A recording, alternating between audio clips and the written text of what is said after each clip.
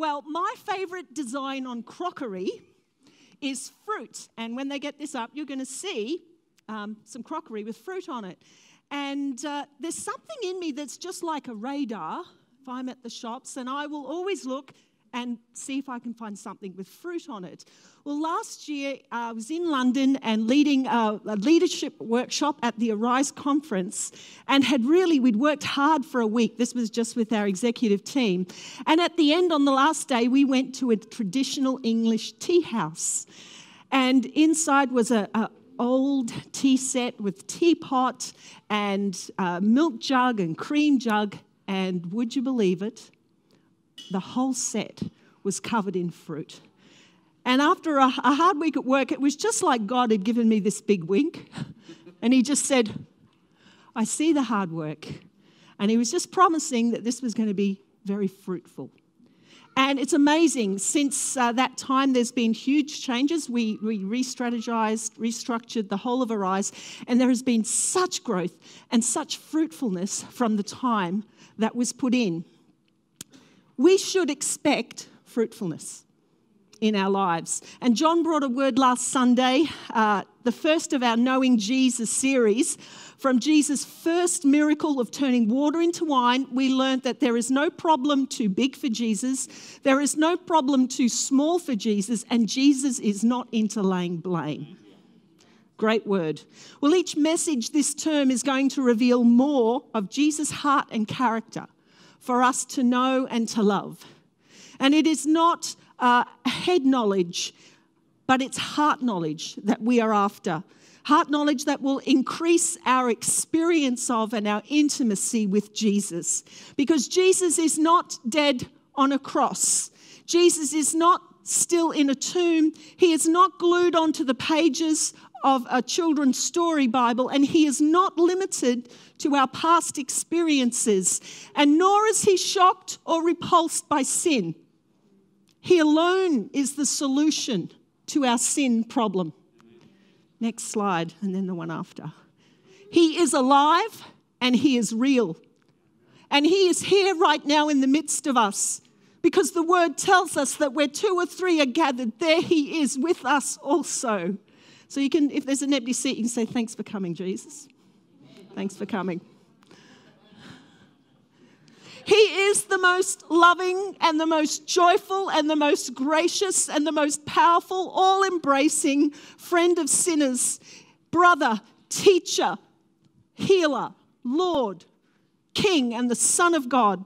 And He wants with us an active, alive, fruitful relationship with Him today. Today, we're going to examine the last of Jesus' I am statements from the book of John. I thought we'll just go straight to the end. His last I am statement, and it's where Jesus wanted his disciples to know then how to know him intimately and how to continue on in relationship with him. And so he spoke very plainly and he used word pictures that just ordinary, everyday people would get. So our Bible reading now is from John 15, verses 1 to 8. It will be on the screen. I am the true vine, and my Father is the gardener. And he cuts off every branch in me that bears no fruit. Well, every branch that does bear fruit, he prunes so that it will be even more fruitful. You are already clean because of the word I've spoken to you. Remain in me, and I also remain in you. No branch can bear fruit by itself, it must remain in the vine. Neither can you bear fruit unless you remain in me. I am the vine and you are the branches. And if you remain in me and I in you, you will bear much fruit. Apart from me, you can do nothing. If you do not remain in me, you are like a branch that is thrown away and withers. Such branches are picked up, thrown into the fire, and burned. If you remain in me and my words remain in you, ask whatever you wish and it will be done for you. This is to my Father's glory that you bear much fruit, showing yourselves to be my disciples. Jesus had just washed his disciples' feet, and had just celebrated the Last Supper. And he and the disciples were on their way walking to the Garden of Gethsemane, where Jesus would pray on the night before his crucifixion. Jesus is actually preparing his disciples for his departure after three years of close relationship. You can imagine his disciples are distressed and they are uncertain about a future without Jesus physically present with them to lead them. And so Jesus promises in John 15, John 13 is where they wash the feet, celebrate the Last Supper. John 14, Jesus promises the Holy Spirit. And if you jump over John 15 to John 16, there Jesus describes how the Holy Spirit works. So we've got the promise of the Holy Spirit, the working of the Holy Spirit, and smack bang in the middle in John 15, we have Jesus teaching them how they can stay closely connected to Jesus, how to be effective, how to be fruitful, how to remain intimately connected and to continue submitting to the work of His Word and His Holy Spirit. John 15, verses 1 to 8, teaches us today. And God is speaking to us through His Word here this morning how we can be in close relationship with Jesus and how we can grow and how we can be His followers and how we can lead incredibly fruitful lives. Still today, Israel is a land of vineyards. The central hill country is terraced and it is still covered in fruitful vines. And it's so important for us to understand the significance of vines and vineyards in Middle Eastern biblical culture. Jesus was using a very familiar and a very essential part of daily life for the Old Testament Israelites and also for these New Testament disciples. Grapes were a staple source of fruit. They would eat the fruit of the vine. Then they would mash that fruit up and they would boil it until it was a syrup called grape honey, or they called it dibs. And they would dip their bread in this grape syrup. They would also crush the fruit and they would produce wine. And they would drink wine like we drink water. It was actually a watered down wine because the water was actually not very hygienic to drink, but by adding wine, it was like uh, it purified the water. So that's why even the little kids were drinking the wine. And then they would dry the fruit and make raisins. Did you know that they picked the best fruit to make raisins? I thought you'd use the lousy fruit to create shriveled up raisins. But they would take the best of the fruit and they would um, sprinkle olive oil as the raisins dried so that the outside skin remained moist. Grapevines studded the hillsides of Palestine, and most homes, if you lived in your own home, you'd have a grapevine growing over the top of your roof. Israel, God's chosen people, frequently throughout the Old Testament are called a vine. Psalm 80, verse 8 You transplanted a vine from out of Egypt you drove out the nations and you planted it and you cleared the ground for it. And it took root and it filled the land. God's blessing was often marked by having your own vine and your own fig tree.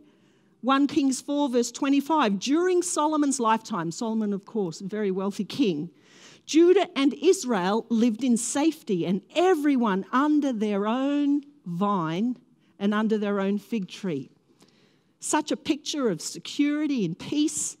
Those blessed by God didn't even have to go far to eat of the riches that He provided for them.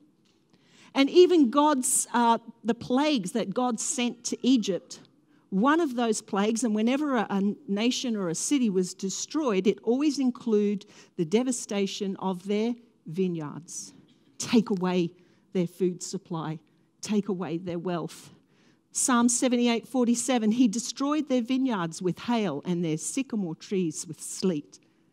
Vineyards represented God's provision, represented God's prosperity, and represented the well being of God's people.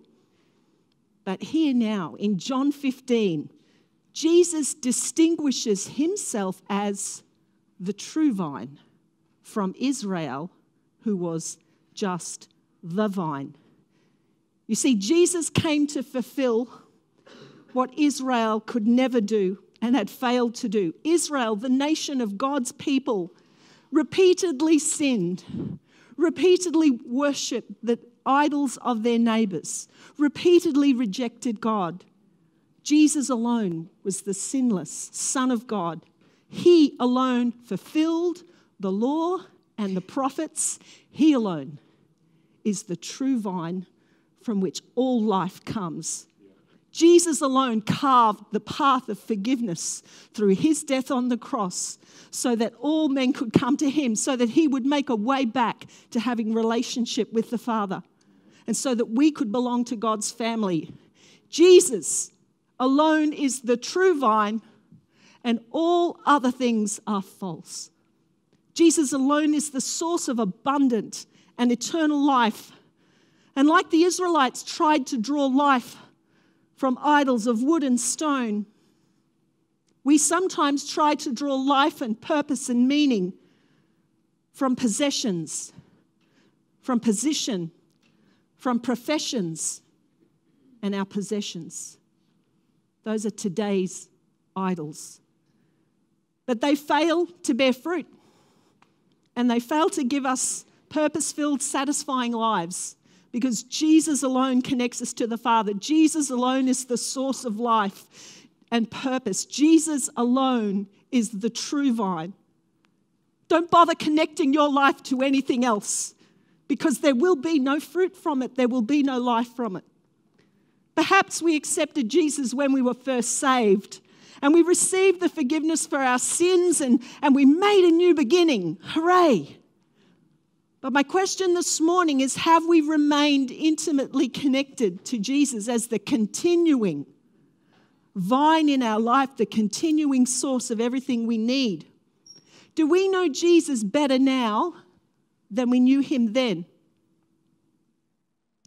Have we started tapping into things, modern day idols, as a source of life and fulfillment?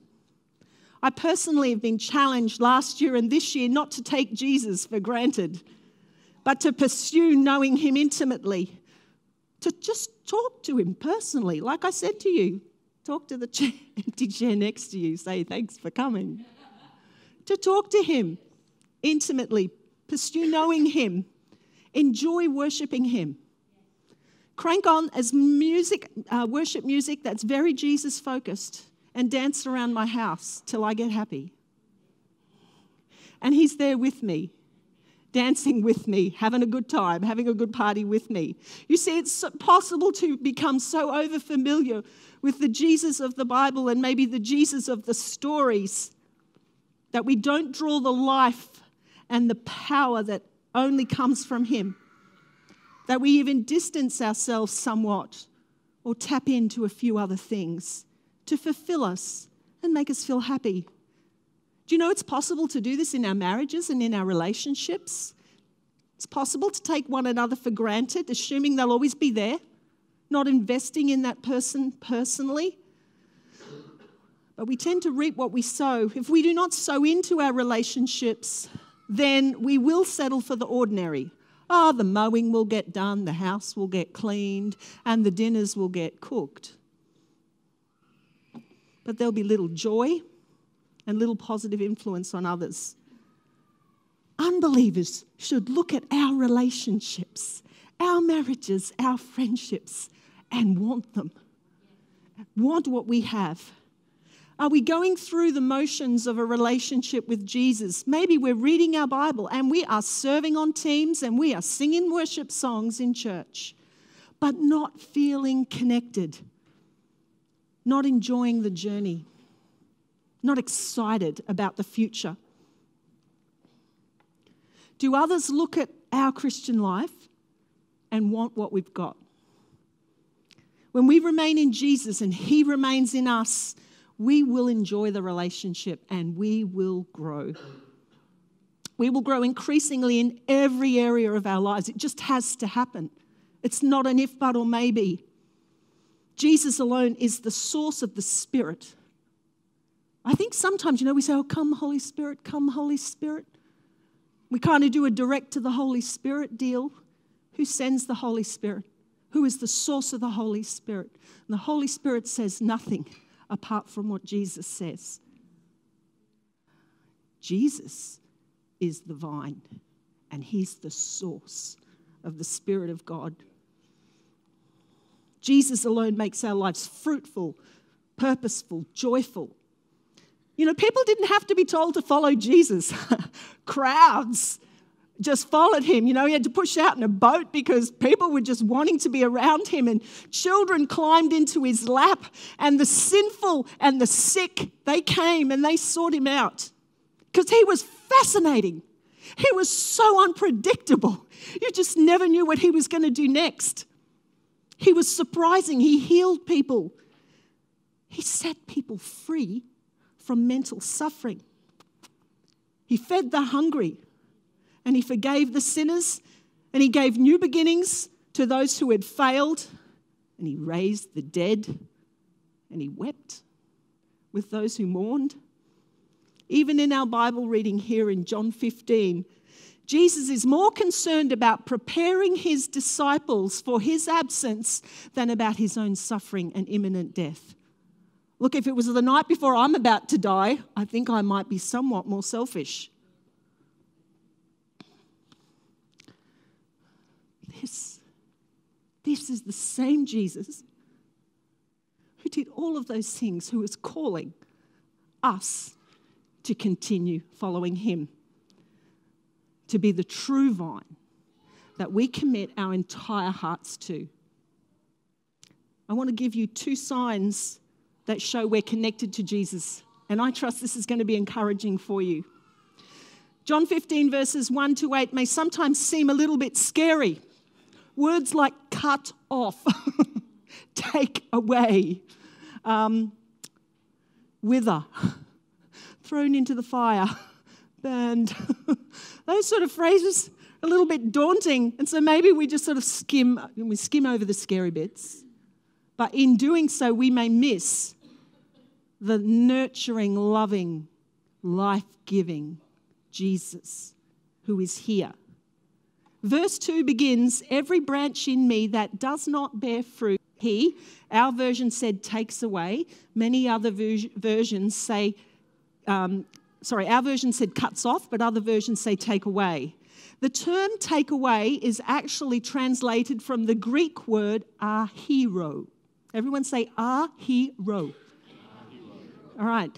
Now, that word can mean take away, but it can equally be interpreted to say lifts up. Ahiro can mean take away, but it can also mean lift up. And in fact, famous Reformed theologian James Boice, in his studies, said that more frequently it is used to say lift up in the scriptures. And if you asked a vine dresser in Israel which was the correct meaning, take away or lift up, the meaning would be very obvious to a vine dresser in Israel because in ancient Judean vineyards, a vine left to its own devices or ten natural tendencies would just grow into a, like a mat on the floor if no one took care of it. And given the warm days and the cold nights in the south of Israel and the moisture laden prevailing westerly winds that blew in from the Mediterranean, heavy morning dews would come in the mornings in spring and in early summer. And this pre dawn moisture that would blow in would cause the development of mold and fungus on anything that stayed in contact with the ground. There's very little similarity between Middle Eastern vineyard methods of Jesus' time and our Western viniculture practices. So this affects our reading of the scriptures here. You see Middle Eastern, and have we got a picture coming up? No, you're way too far ahead now. Go back. Go back, go back. Previous slide, please. Next one, previous to that. Aha, that's where we're at.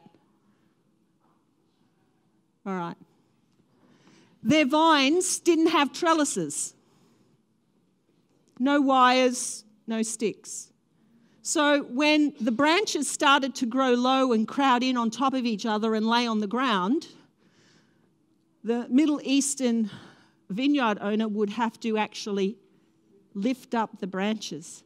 And they would prop stones underneath and they would put sticks against the stones and just prop up individual grapevine by individual grapevine.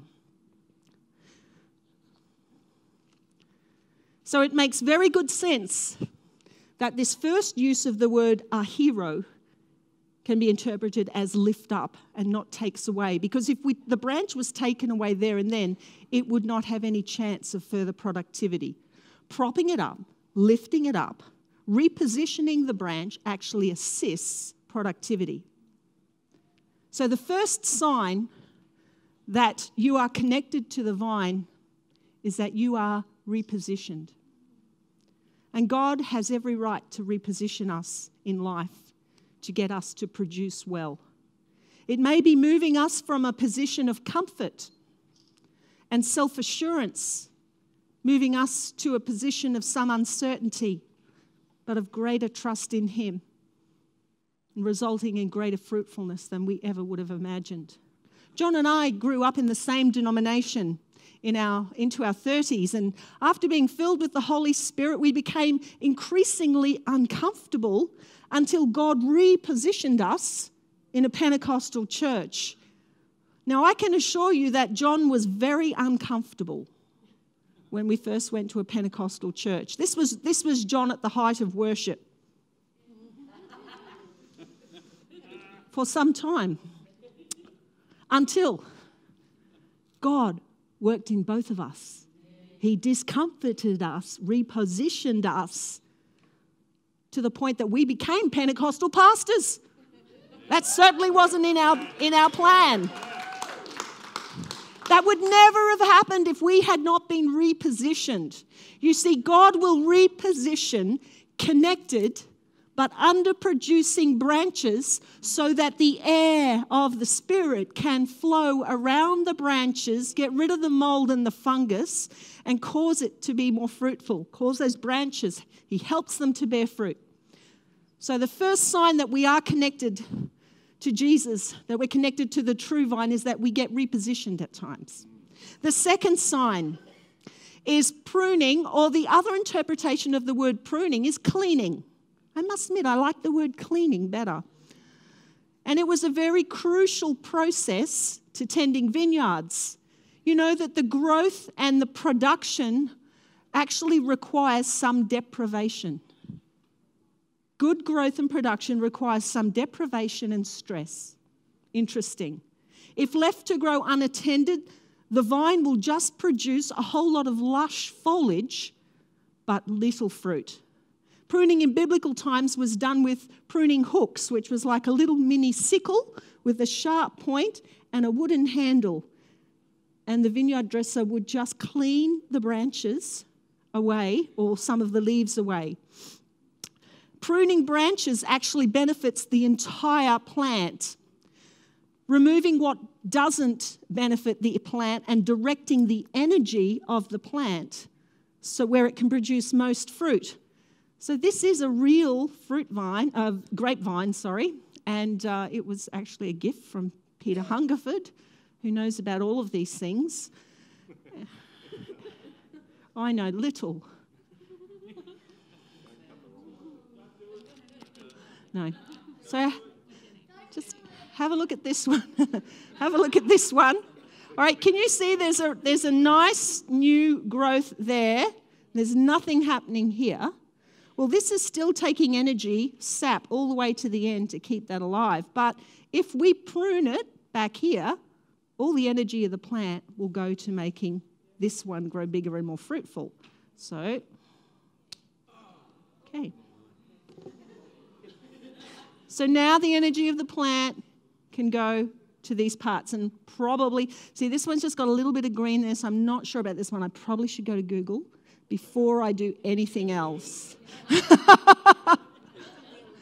or ask Peter. Go to Google or ask Peter, one or the other. Okay, I'll shut that, keep everything safe.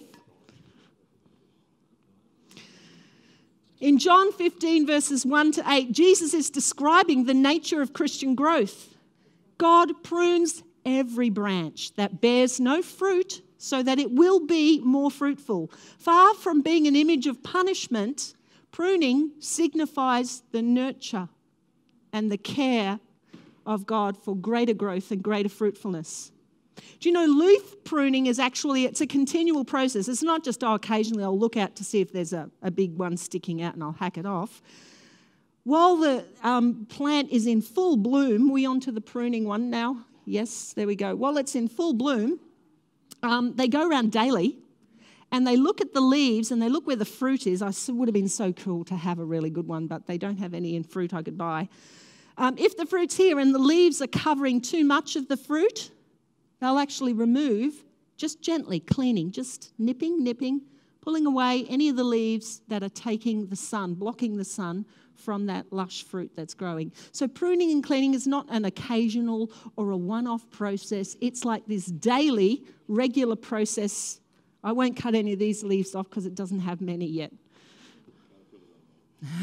yeah, it has been had caterpillars did have a go.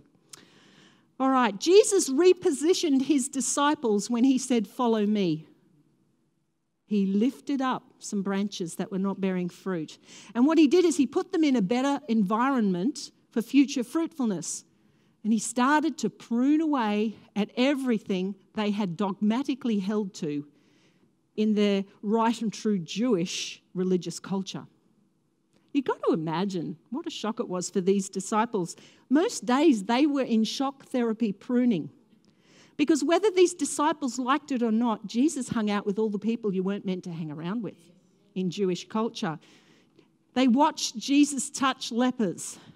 They watched Jesus talk to Gentiles, welcome tax collectors, handle naked demon people in a cemetery. These were all the places that good Jewish boys did not go, to name a few. This was the intentional repositioning and pruning to get these disciples ready for a lifetime of service after Pentecost. You see, Jesus had to culturally detoxify these disciples so that they could become fruitful. culturally detoxify. What do we need to be detoxified from? What needs to be cleaned off of us, from in us, to bring about greater fruitfulness? I can honestly say that I grew up pretty religious and probably pretty judgmental. I was in a, an isolated and protected church setting, so I didn't see too much of life.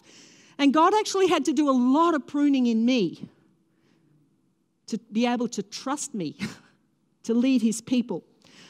I remember telling an elderly counselor once I just couldn't visit anyone who was living in adultery. And he just looked at me. He said, Yes, you can. So I did. I just needed someone to challenge my uh, religious views, my judgments. So I did. And so the strongholds and the walls in my mind and in my heart were brought down. So that, and that had to happen. I had to be detoxified, I had to be pruned and cleaned before I could ever be fruitful for God. John 15, verse 3 says, You're already clean because of the word that I've spoken to you. Remember, Jesus had just washed his disciples' feet. And when he did that, do you remember Peter's? reaction at first It was, oh no, you can't wash my feet. And then it was, oh, don't just wash my feet, wash my hands and wash my head. Wash all of me. And Jesus said, You don't need, I don't need to wash all of you. You're already clean. I just need to wash your feet. Jesus was distinguishing between the big clean and the small clean.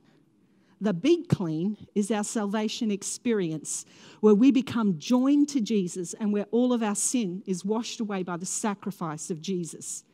We're then grafted on to the vine and we become part of God's family, the true vine. That's the big clean. But then there's the small clean, the regular daily cleaning and pruning. That's our ongoing sanctification. That's our training in righteousness, refining, purifying, bringing down wrong mindsets, uh, allowing the truth to guide us, growing us in our Christian life. Yes, we are connected to Jesus, the true vine, but we still need trimming off and pruning and cleaning for greater fruitfulness. John 15, 7 to 8 says, If you remain in me and my words remain in you, ask whatever you wish, and it will be done for you. This is to my Father's glory. What's to your Father's glory? That you bear much fruit, showing yourselves to be my disciples.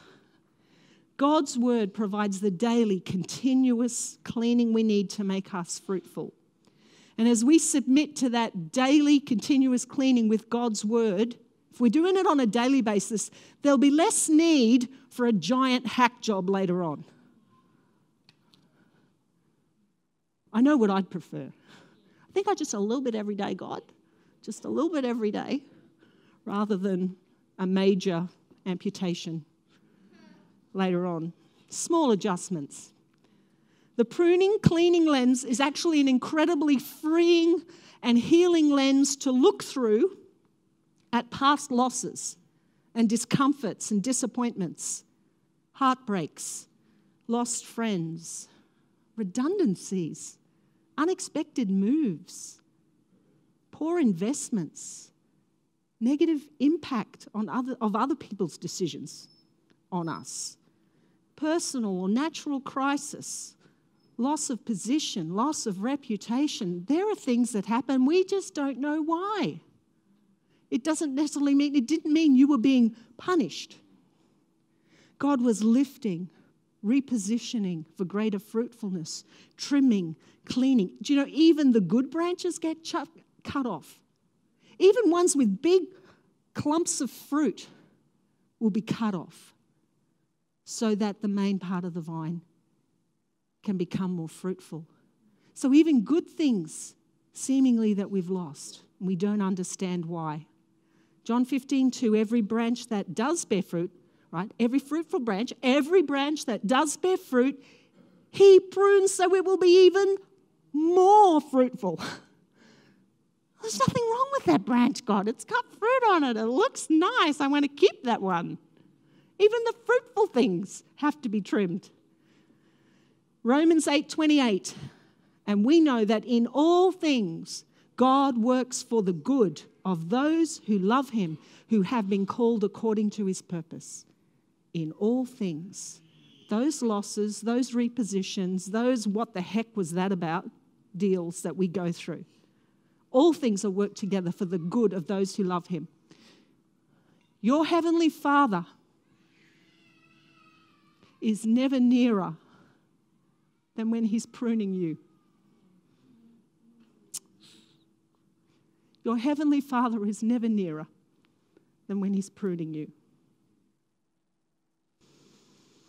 He cuts away dead wood that might cause trouble, but often He cuts off living tissue that's robbing you of your spiritual vigor.